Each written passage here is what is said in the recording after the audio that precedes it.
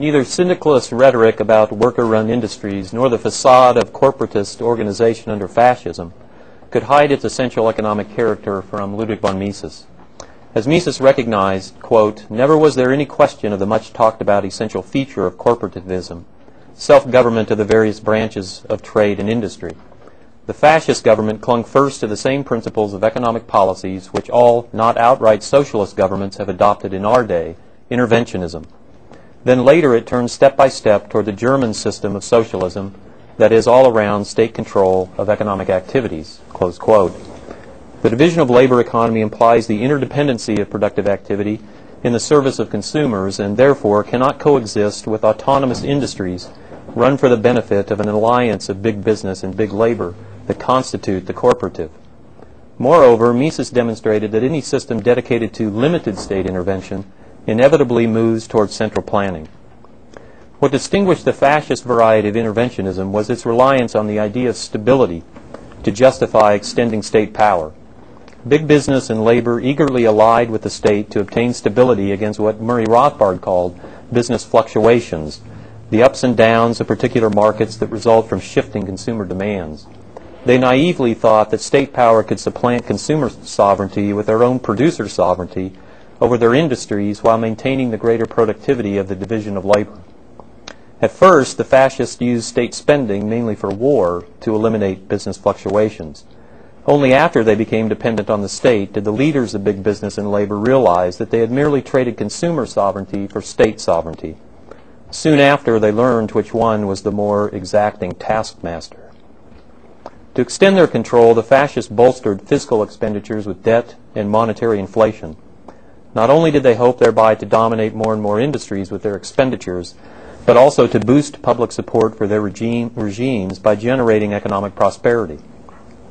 Instead, their reckless spending and inflating set in motion the boom bust cycle.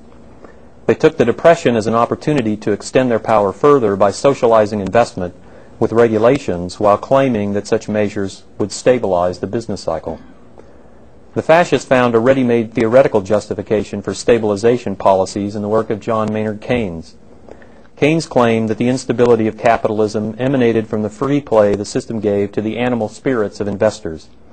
Driven by bouts of over-optimism and over-pessimism, investors alternate between bullish spending and bearish hoarding, sending the economy into fits of booms and busts.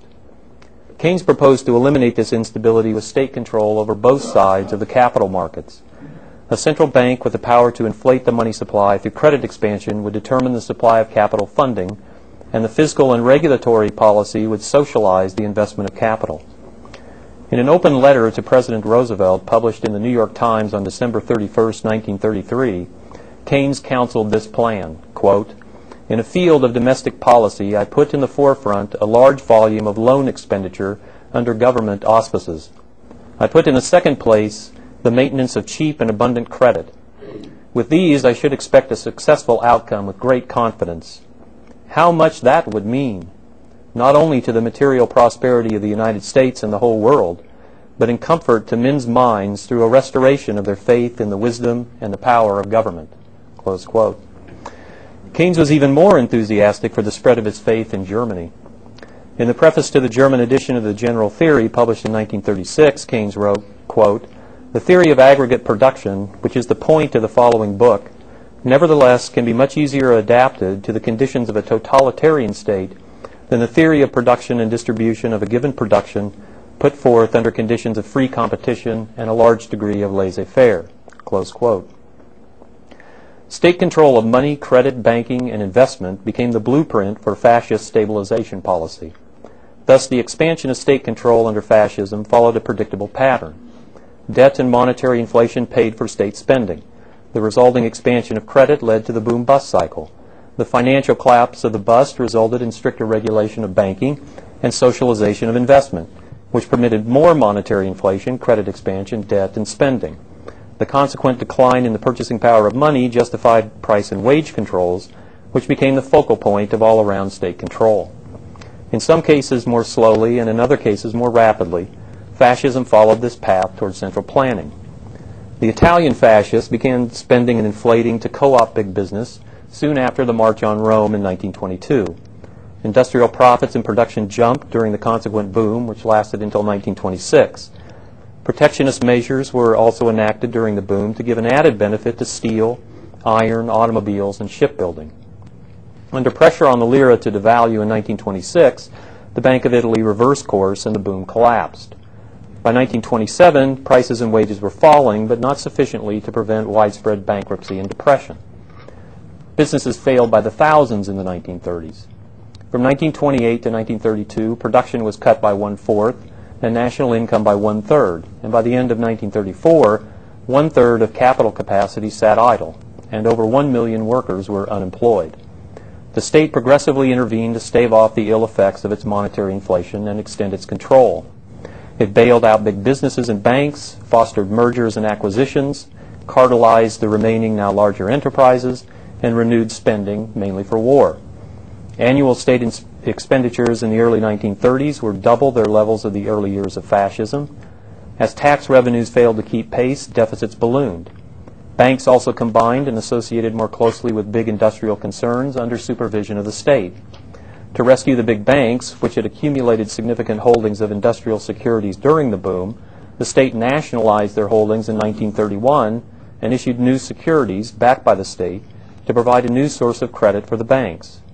The state also created new and invigorated old credit institutions outside the banking system to provide added channels for credit. It appointed a majority of the boards of these new credit institutions and provided them with their funds by direct subsidies and by guaranteeing their industrial investments with state bonds. Private parties then would invest in the state guaranteed bonds of these new institutions that would then invest the funds in favored businesses. Although the domestic purchasing power of the lira was rising in the early 1930s, the Italian state still overvalued it in foreign exchange. The resulting trade deficit and gold outflows led the state to limit imports and impose foreign exchange controls. When even the highest tariff rates in the world failed to close the trade deficit, the fascists adopted an import quota system by enforced licensing uh, uh, importers. The burgeoning state control of businesses swelled the state bureaucracy and led to widespread centralization and corruption. Small businesses were left to fail and have their assets swallowed up by big businesses and big banks. Nearly 100,000 businesses failed from 1926 to 1935 in Italy, almost fourfold the number that failed in the previous 10 years. By 1935, Mussolini boasted that fully three fourths of Italian businesses rested on the shoulders of the state. The Ethiopian War in 1935 demonstrated the extent of fascist control. Annual war expenditures were 14 times larger during the war years than previously. To meet these extraordinary expenditures, the fascists resorted to monetary inflation and capital confiscation. Beginning in July, the gold reserves against the Bank of Italy's notes were progressively relaxed. Yet even as the gold reserve sagged from five and a quarter billion lira in June of 1935 to 3.9 billion lira in October, the money stock rose to over 15 and a quarter billion lira. In the next few years, monetary inflation accelerated as the fascists monetized the national debt, which stood at 1.8 trillion uh, lira by 1938. To curb the decline in the purchasing power of money, the fascists resorted to price and wage controls which then paved the way for all around planning. Confiscation of capital began in May of 1935 when banks, businesses, and individuals were required to turn all their foreign issued stocks and bonds over to the Bank of Italy. By September, the state had compelled renters in cities and towns over a certain size to buy state bonds in amounts proportionate to their rents, all Italians to exchange their foreign credits for state bonds, businesses to invest all profits in excess of 6% in state securities, and investors holding heavily depreciated state bonds to exchange them plus liquid capital for a new issue of bonds at par value. Carl Schmidt in 1939 summarized Italian fascism with these words quote, Fascism arose to power as a preventative reaction defending the pecuniary and sentimental interests of the propertied and quasi propertied groups of towns and country from the specter of revolution. It not only sought to safeguard existing property rights, but also fostered further industrialization and concentration of business enterprise. Yet fascism could not solve the basic difficulties of Italian capitalism. The deepening economic crisis in later years forced business enterprise to rest more and more on the support of the state. As the economic role of the state grew, a subtle shift of spirit and purposes took place. Governmental support of the uh, going economic order called for an increasing army of intruding officials, for a bureaucratic formalization of business affairs, and the bureaucracy developed ends of its own, associated with holding and enlarging its security and power. Thus, despite all former pronouncements, fascism seemed to be evolving into a tyranny over all but a very few of the Italian people. Close quote. Fascist Italy defined the fascist style of interventionism state control of the economy by fiscal and monetary policy and regulation. Nazi Germany, in contrast, illustrates, illustrates not so much the fascist style, but how the fascist episode culminates in all around state control of the economy. Concerning the socialization of investment under Nazi Germany, Gunter Reimann, uh, whose real name, by the way, is Hans Steinicke, um, and as an aside, uh, Heinz Steinicke passed away in March of this year at the age of 100 uh, after pioneering the um, international independent financial analysis market. So a, a great economist and a great uh, practitioner of economics. Anyway, uh, Reimann wrote in 1939, quote, backed by the general staff of the army, Nazi bureaucrats have been able to embark upon schemes which compel the most powerful leaders of business and finance to undertake projects which they consider both risky and unprofitable. The building up of the German war economy takes precedent over everything, including the opinions of private capitalists and their scientific research staffs. The viewpoint of private investors and industrialists who think of the ultimate safety and soundness of investments has been disregarded. This is particularly true of the big industrialists who earned huge profits from the armament boom and who have large amounts of capital to invest. Their liquid funds do not escape the attention of state commissars who are searching for means to finance new state-sponsored plants. Close quote. Lured by enormous profits in war production, big businessmen in one industry after another came under state control.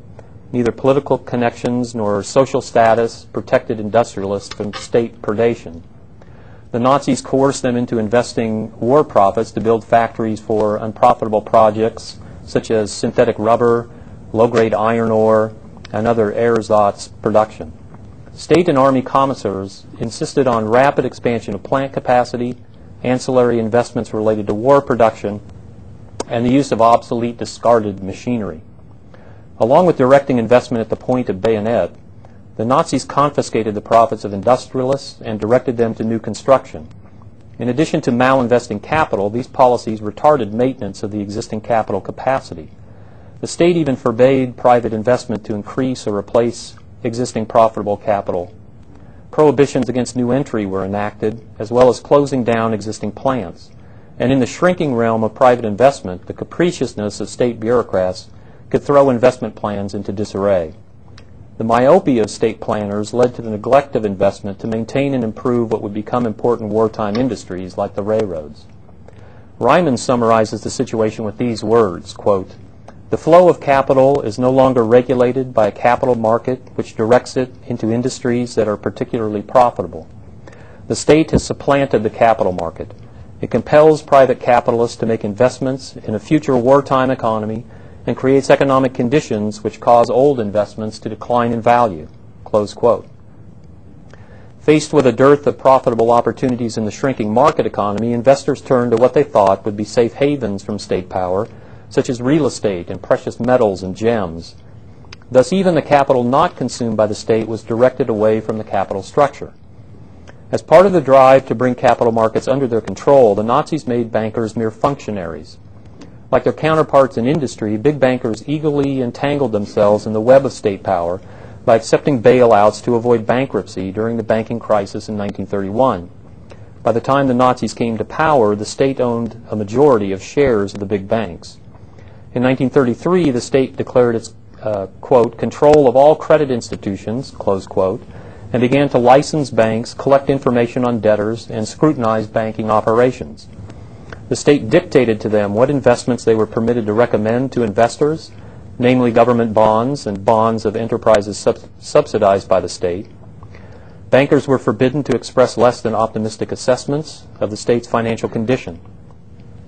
For investors who refused such advice and withdrew their capital from banks to invest on their own initiative, bankers were obligated to report their activity to the, to the state. A large bureaucracy was formed to oversee banking, centered in the Reich Bank.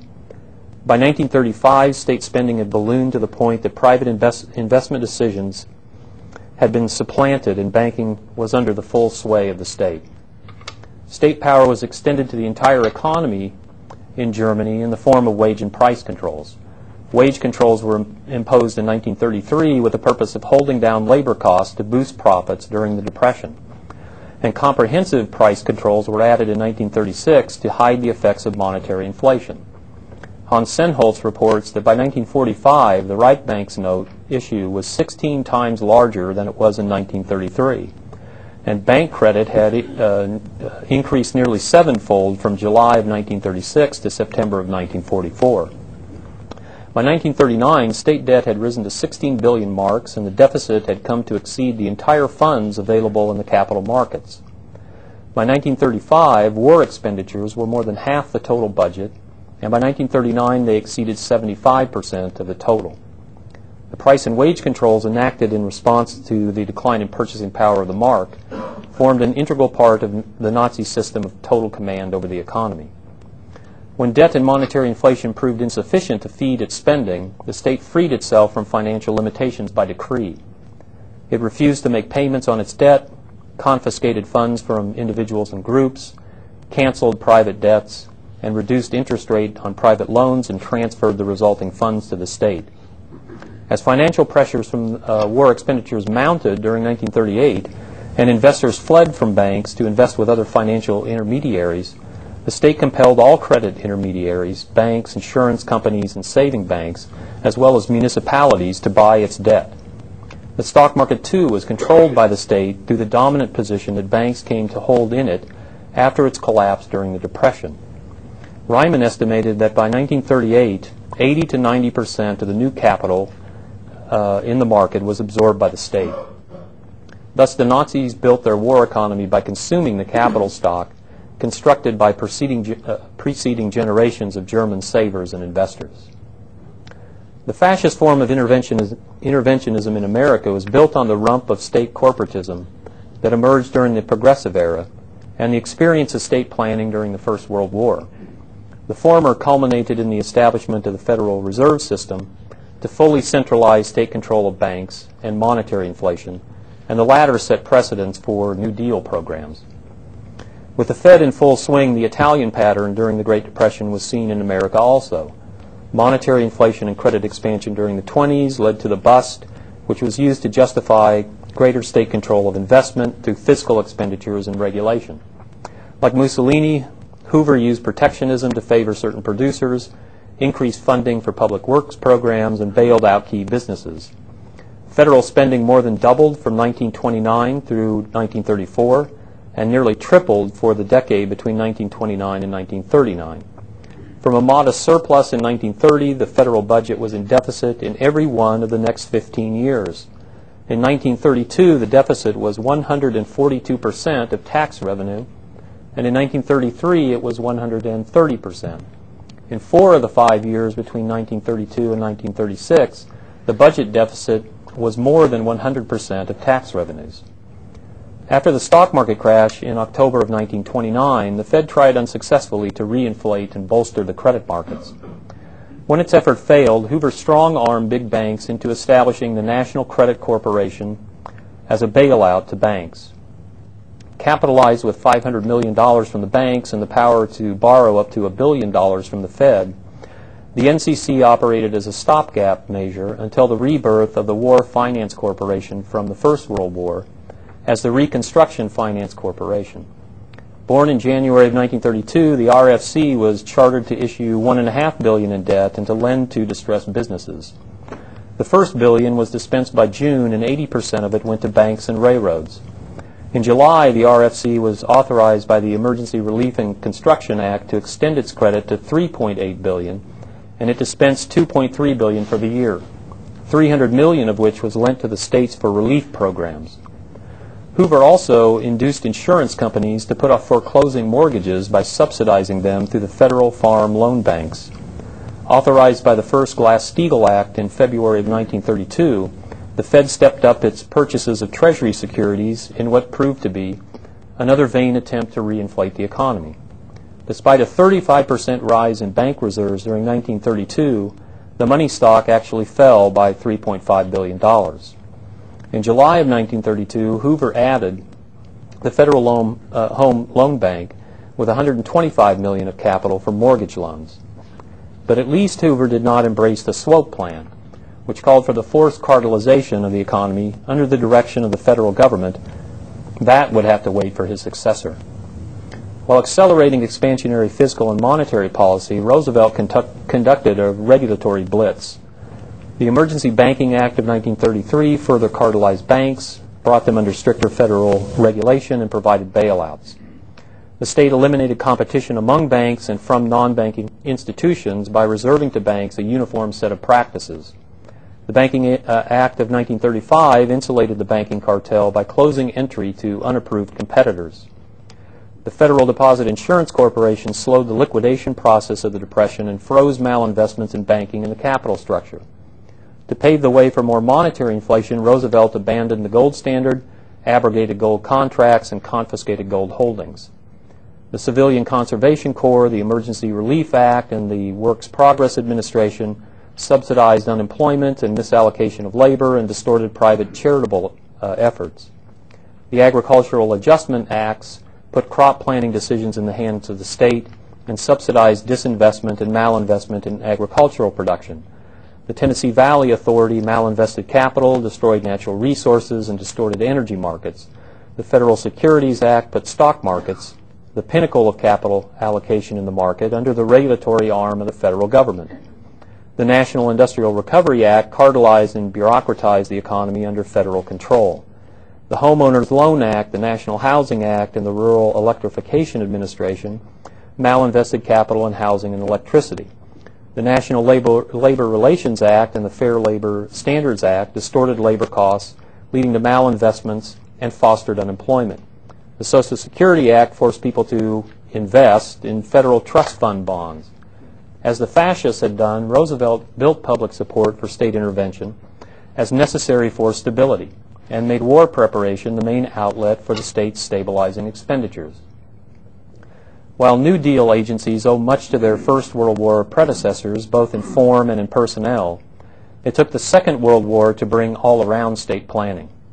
The Selective Training and Service Act of 1940 empowered Roosevelt to conscript labor and confiscate goods and factors for the war effort. In mid-1940, the Reconstruction Finance Corporation was authorized to issue debt and to use it to purchase and operate production facilities, invest in equipment and machinery, and buy land for war production. The First and Second War Powers Act in 1941 vested broad powers in the President to seize production facilities, regulate industries, purchase goods and factors, stipulate terms of contracts, allocate resources, and expand Fed inflationary potential by authorizing it to purchase debt directly from the Treasury. The Office of Price Administration was charged with setting price and wage controls in the wake of the Fed's massive monetary inflation. Its general maximum price regulation, issued in April of 1942, resulted in widespread shortages and rationing. Not content with the unsystematic application of controls, Roosevelt pushed through the Economic Stabilization Act in October of 1942. The Office of Economic Stabilization was charged to develop a, quote, comprehensive national economic policy relating to control of civilian purchasing power, prices, rents, wages, profits, rationing, subsidies, and all related matters. From 1940 to 1945, federal expenditures increased nearly tenfold, and tax revenue rose nearly sevenfold. By 1942, the budget deficit was more than double all federal expenditures in 1940. In 1943, the deficit was two and a half times the deficit in 1942 and double the amount of 1943 tax revenues. The federal debt rose fivefold during the war, and the Fed nearly doubled the money stock. State power was rolled back after the war. Federal expenditures were cut in half, and many agencies were disbanded and some of their functions ceased while others were merely transferred to remaining agencies. But the state assumed the role of stabilizing the economy. The Employment Act of 1946 pledged the federal government to, quote, use all practicable means to promote maximum employment, production, and purchasing power, close quote. In other words, to prevent downturns. To stabilize the economy, the state then has been working to restore the power it exercised during the war. Let me, by, uh, let me conclude by recounting how far down the fascist path we have traveled. The fascists used state spending and regulation to direct investment into state approved lines of production, war being the chief among them. The federal government has 165 primary agencies, 141 of which have significant effect on investment in the economy. 66 of these impact investment by fiscal expenditures. The Departments of Agriculture, Commerce, Defense, Education, Energy, Health and Human Services, Homeland Security, Housing and Urban Development, Transportation, and Interior are among the major sources of such federal control. In 2005, the federal government spent approximately $1.3 trillion in these areas. And from 1945 to 2005, the federal government has spent $9.5 trillion on defense, 6.5 trillion on health care, 1.4 trillion on education, 1.2 trillion on transportation, eight tenths of a trillion on energy and natural resources, six tenths of a trillion on agriculture, half a trillion on science, space, and technology, a third of a trillion on community and regional development, and three tenths of a trillion on commerce and housing. These expenditures have malinvested entire sections of the capital structure. The other 75 federal agencies that, that affect investment do so by regulation. Examples here include the Departments of Labor, Justice, and Treasury, the uh, Environmental Protection Agency, the Federal Trade Commission, the Federal Communication Commission, the Federal Deposit Insurance Corporation, and the Fed. The cost of compliance with federal regulation has been estimated at $1 trillion a year. This is without the Patriot Act and Sarbanes-Oxley. The impact of the federal government's fiscal and regulatory policies is $2.3 trillion this year. This is nearly 20% of gross domestic product and over 40% of private product remaining. The fascists used a central bank and cartelized the banking system under its regulation for the purpose of monetizing their debt and expanding the supply of credit. The Fed owns $736 billion of the federal debt, and depository institutions own another 1.4 trillion. Together they hold 27% of the 7.9 trillion dollar federal debt. Of the 4.6 trillion of the federal debt owned by the public, depository institutions hold 30%. The fiduciary component of, check, of checkable deposits issued by depository institutions is approximately $582 billion, which is 8% of the total credit of $7 trillion intermediated by depository institutions. As Joe Salerno has pointed out, monetary inflation and credit expansion cloak the capital consumption of state intervention and thus quell public outcry against it. The fascists closed the windows of opportunity for investors to escape state control. As restrictions on banking mounted in the 1960s and 70s, investors sought alternatives and entrepreneurs provided them. From 1950 to 1980, the share of total assets of all financial intermediaries held by banks fell from 52% to 36, and the share of short-term credit market held by banks fell from 91% to 71%.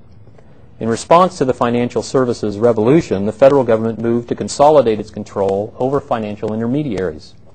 The Monetary Control Act of 1980 brought all financial institutions that offer checkable deposits under the regulatory authority of the Fed and imposed on them the uniform practices of all member banks. All depository institutions in America are regulated by three federal agencies the Fed, the FDIC, and the Comptroller of the Currency. Combined, they enforce more than 150 different categories of regulation. The fascists used banks to collect information on clients' financial activity. Since the Bank Secrecy Act of 1970, the federal government has enacted eight additional anti money laundering laws expanding its power to collect financial information on Americans. Banks must now form financial profiles of their customers and file suspicious activities reports to the state when they deviate from these patterns. The fascists dictated acceptable lines of investment.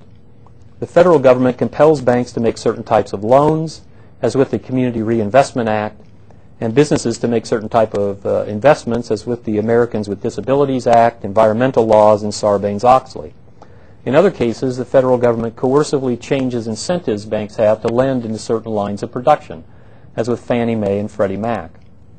The fascists confiscated capital when fiscal pressures mounted.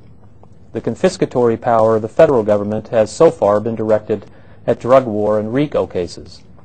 The Patriot, uh, Patriot Act, however, increased asset confiscation to abate money laundering and made anti-money laundering measures uniform across financial institutions.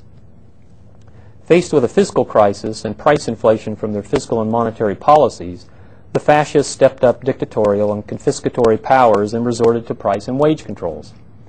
Extraordinary federal expenditures for the Vietnam War and the Great Society programs, coupled with monetary inflation, led to our last imposition of price and wage controls in the early 1970s. Certainly the federal government will resort to greater dictatorial and confiscatory powers and stricter price and wage controls in the wake of the next fiscal and monetary crisis. A political class that is willing to throw $150 billion into rebuilding a single city in the face of massive federal deficits is oblivious to the looming fiscal danger. As always, however, war spending is the biggest threat to the fiscal integrity of the state. If these fascist trends in America are not checked, they will lead to net capital consumption and the end of economic progress in America, not to mention curtailing what remains of our liberties. The Mises Institute is one of the precious few standing against these trends. We must redouble our efforts if we value liberty and prosperity. Thank you.